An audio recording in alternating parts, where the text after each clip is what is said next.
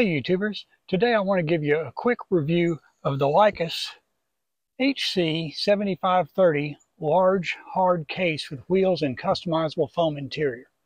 Now I have two large LED light panels, uh, three light stands, and a tripod that I wanted to be able to put in one large case. And I started looking all over the internet, various camera websites, Amazon, um, for something that was large enough on the inside to fit the equipment I want to put in it, yet not too tall that it would not fit in my truck. I want to be able to put it in the back under the tonneau cover or slide it through the back door if I wanted to. And it seemed like most of the cases I found were either too small on the inside or too big on the outside. And this Lykus was exactly the size I was looking for. And so this is my first experience with this brand. Now, I, I, bought this with my own money. This was $349.99 from Amazon. I'll put the link to it down below. And uh, I'm really happy with my purchase.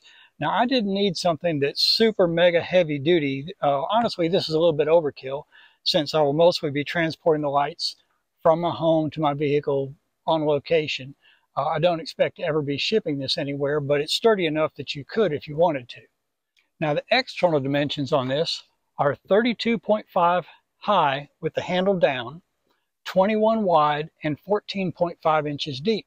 Now, according to the Amazon website, the internal dimensions with the foam removed are 29.5 by 17.7 by 11.8. And if you want to keep the foam in place, the maximum you can put in there is 27.8 by 15.9 by 11.9. Again, all these measurements are off the Amazon website. Uh, the case appears to be very well made, and like I say, it will exceeds my needs. So uh, let me give you a quick little tour. Okay, now here you see the carrying handle deployed to retract this. Push this lever over and lower it down, and it locks into place. Or raise it up, and it locks into place. Uh, seems to be very sturdy and very well made. Uh, I really like that it has a smooth flat bottom on it. Uh, it has three handles on it, one on the top, one on the bottom, and one on the side. All of them are a very durable looking uh, plastic material covered in rubber. They're nice and fat. You get a good grip on them. And once you raise them up, they stay up. Fold them flat and they stay folded flat. Uh, seem to be very well made. Uh, there are seven latches on it, two on the top, two on the bottom, three on the side.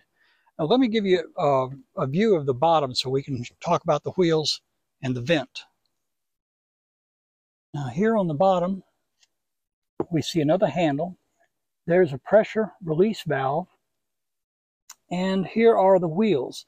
And I really like the wheels on this. They're large enough diameter that it rolls very easily, but they're not so large that they take up a lot of space inside the case. And they appear to be uh, sort of a rubber-like material. When rolling on hard floors, it's totally silent, which I really like versus uh, plastic wheels. All right, let me open it up and give you a look on the inside.